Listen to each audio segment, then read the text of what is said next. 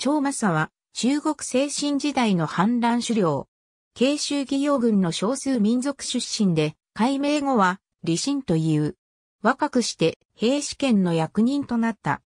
その武力は抜きんでたものがあり、自ら戦没しては、自分はいずれ復帰になる身だ、と豪語していた。交戦について論じることを好んだが、仲間からは失笑を買っていた。301年3月、当時駅州には、旗州、洋州からの流民で溢れ返っており、朝廷は彼らへ故郷へ戻るよう通達し、長将に命じて、流民たちを監督させた。303年、李流が乱を起こして、駅州に侵攻すると、長将は半年間にわたって世間から姿を消し、この間に数千人と徒党を組んだ。長将は軍旗を盗み出し、朝廷の命と偽って、李流討伐の名目で兵を集めた。慶州では、人語証書が発布され、武勇に覚えのある者は、駅州にいる李流討伐に向かうよう命じられた。この時の兵団は、人語兵と呼ばれた。天下が八王の乱で混乱に陥って以来、多くの術者が帝王が高騰に起こるであろうと予言していたので、人々はこの遠征が逆方向に当たることから乗り気でなかった。長将はこの空気を察知すると、百姓を虚言で惑わして生成に向かわせないようにした。そこで新たに証書が発せられ、軍を速やかに駅州へ赴くよう命じた。そして、5日間にわたって足を止めた者は大衆を罷免すると発表された。そのため、軍権の官庁は皆自ら出ざるを得なくなり、進軍の速度も上げていったが、反発する者が多く、やがて遠くないところで進軍は停止し、略奪に手を染める者も現れた。この年、江夏は大豊作であったため、流民数千人の職を賄うことができた。長将は、安陸県の石岩山に拠点を構え、各地の流民や労役から逃れてきた者の多くが、長将の下に寄り集まってきた。ここで長将は、生命を李信と変えた。江夏軍大衆の弓金が討伐軍を出したが、長将に返り討ちにされた。このこともあって、長将の勢力は日に日に増大していき、ついに軍を向こうに相対することができるまでになった。弓金自ら迎撃に出たが、またも返り討ちにされたため、家族を引き連れて武将へと逃亡した。芝は、木、ただしの万に、長将を攻撃させた。両軍は、随軍の西で戦ったが、万も敗走させられた。長将は、万軍の器杖を露獲すると、江夏に拠点を構えて、不幸を手中にした。この時期、長将は、聖人が現れ、民百姓を導くであろうとの要言を広めた。大和権利の岡鎮を江夏へ招き入れ、長将は、岡鎮を聖人であるとして、車服を整えて、岡鎮を自ら出迎えた。そして、岡鎮の名前を、龍二と改めさせると、漢王朝の後継者と称させて天使に担ぎ上げた。百官を設けると、長将は自ら小国について、長将の兄の長味を社記将軍に、弟の長宝を後部将軍に任命して、兵を統率させた。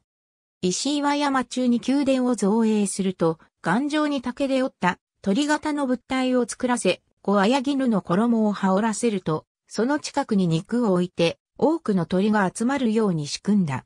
この工作が実り、山中に多くの鳥が群れ集まったので、大鳥公が舞い降りたと鎖とした。また、玉宝、玉寺、鉄剣、金庫が自然に現れたとも流言した。そして、車掌を下して、神大鳥と、剣もとした。祭祀や服飾は、漢の故事に基づいて依拠した。母兵に応じない者がいると、一族皆殺しにした。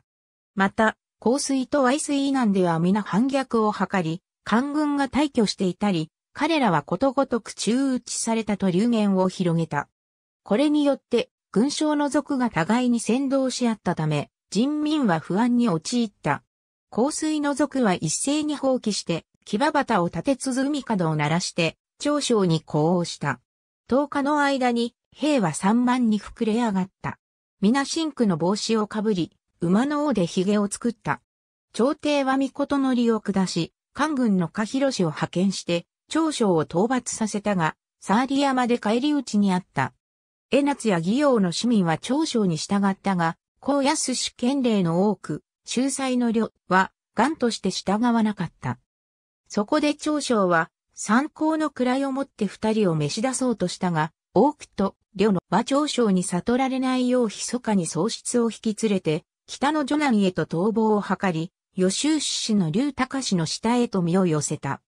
騎士権令の利権、上安権令の呉王を取り、高連の後通るらは義士を呼び集め、500家余りをまとめると、大倉の後を追い、長将の計りごと逆に組みしなかった。芝が、綾香氏族の長将、竜には愚かにも神聖を称し、犬羊がごとき万形を持ち高頭にケメンの格好で上等狙撃しております。私だけではその切先に当たることができません。そこで諸軍に御事乗りして、参道より義民の救援に当たることを求めます。と、上古とした。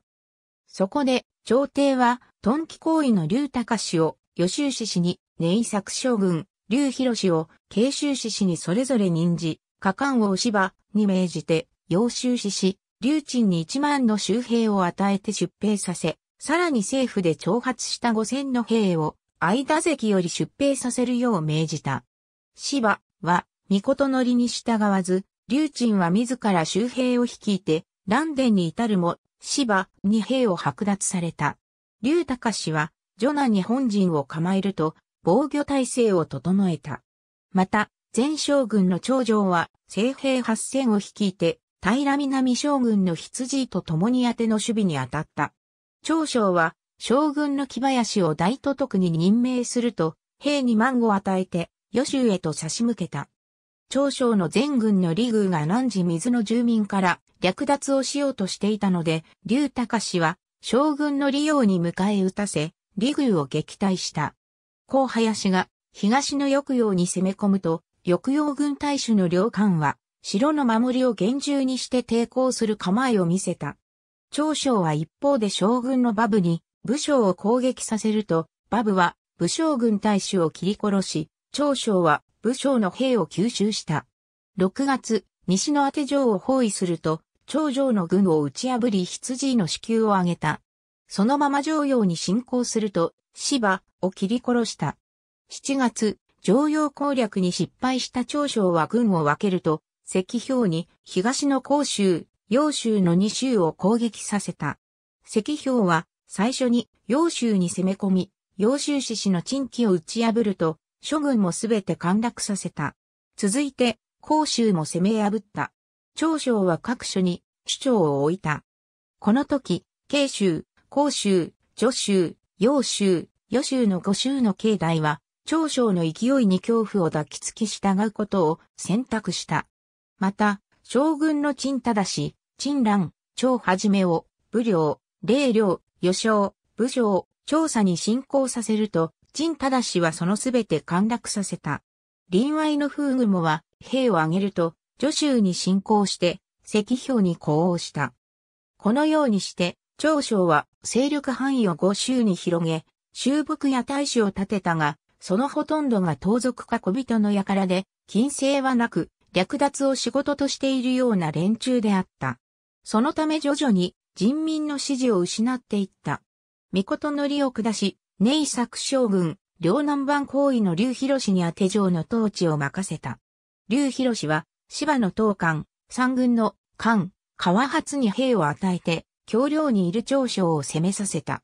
劉高氏も将軍の利用、ただし守るの院笹具に兵を与えて、江夏に配置した。長将は、東官軍と連日にわたって、死闘を繰り広げたが、ついに支えきれず、打ち破られた。公平は万を数えた。長将はした、春山へと逃亡した。304年8月、長将は、慶州兵に捕らえられ処刑され、その首は慶氏にさらされた。徒党も山賊皆殺しにされた。ありがとうございます。